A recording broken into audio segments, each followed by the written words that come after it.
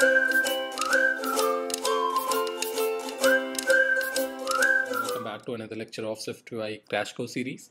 And in today's video, we'll be discussing about pop-up and uh, sheet presentation in SwiftUI. So many a times we have a screen, the main screen, and then a detailed screen. And on click of this, we want to open the detailed screen to show the detail. Uh, let's say on the main screen, we have the list of movies. And on the detail screen, we want to show the description, detail, image, and everything about the movie. There are many scenarios where we want to use these kind of uh, pop-ups and uh, sheet presentation. So today we'll be looking at one of the example on how we can present some pop-up or uh, a sheet. So let's jump right into the code. So here I have created a main view. So pop-up content view is like a main screen. And on click of a button, this show pop-up button, we want to present this pop-up view. Inside the pop-up view, we just have a, this is a pop-up text, nothing more. So currently button has no action. So when I click on this, nothing happens.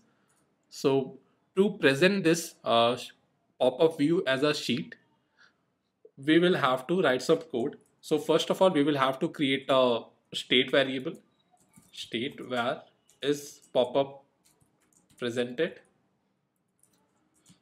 which will store whether the pop-up is currently being displayed on the screen or not. Okay. And on this click of this button, we want to pop up, uh, we want to toggle this uh, state variable. Now, here we will add dot sheet. So this is the modifier which is used to present a sheet. And here it is asking for a variable.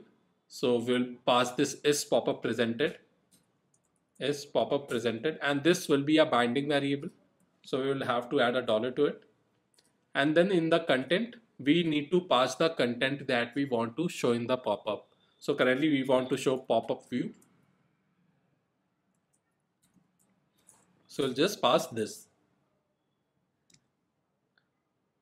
Now when I click on the show pop-up button you'll see that screen is appearing and we can drag it to dismiss it so this is how easily you can present a sheet in the Swift UI.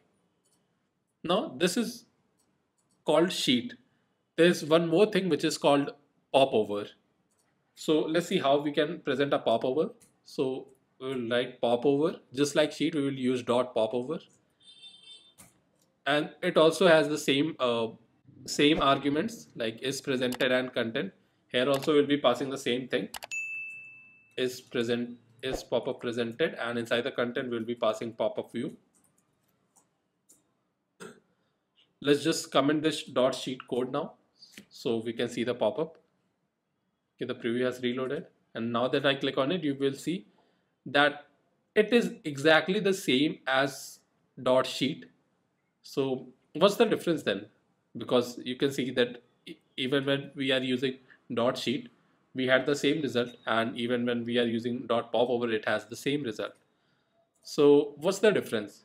So the difference is not visible in iphone because it has small uh, frame.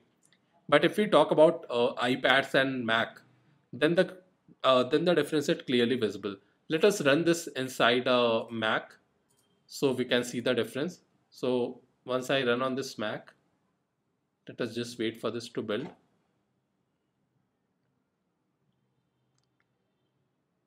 Okay.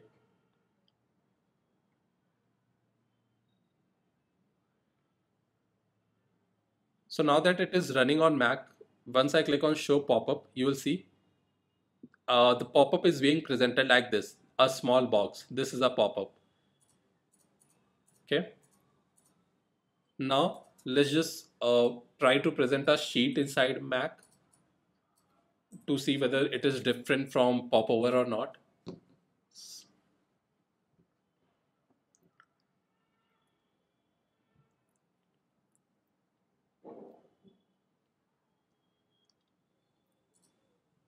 And now that I click on show pop-up you will see that it is being presented on whole area so now you can clearly see the difference between dot sheet and dot pop-up although in iPhone it is uh, almost same But when we talk about iPads and Mac, pop-up and sheet are actually two different things and both have a different uh, look in UI. So this is how easy it is to present a pop-up or sheet. We just need to pass a binding variable to it. Like we passed is pop-up presented. And uh, then we need to pass the content, whatever content that we want to show. Currently we want to show pop-up view. So I just passed pop-up view. You can pass anything. So I think that's it for this video. If you have any doubts, please just let me know in the comments. So I'll see you guys in next video. Thank you.